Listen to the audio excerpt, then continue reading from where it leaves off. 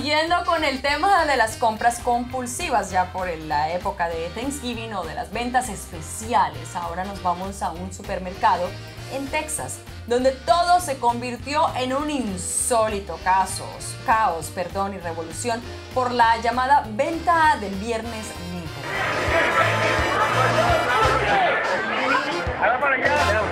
Aquí vemos a la turba sedienta de compras. Y es que la tan anunciada venta del Viernes Negro es en esta tienda de Walmart en Texas. Tendrían descuentos nunca antes vistos.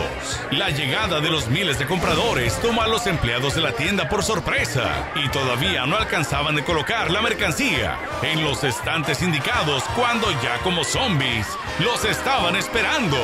En algún momento alguien no pudo esperar más y se lanzó por un par de estos aparatos en venta. De ahí todo se convirtió en un caos incontrolable.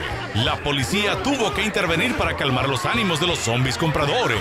Y total que todo fue un viernes negro y muy desorganizado.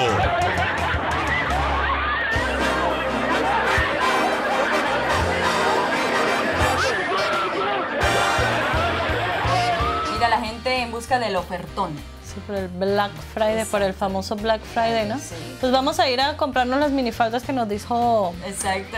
Gerson, ¿no? Para seguir viéndonos bonitos. Pues a, A mí sí me gusta verme bonito. De pronto si hay minifaldas en descuento. Sí, yo creo que sí. que sí. Está más barato, ¿no? Está pues irnos a, a pagar la universidad. Exacto. Como- Que nos dieron eso. Exactamente, pero bueno amigos, nosotros los queremos igual.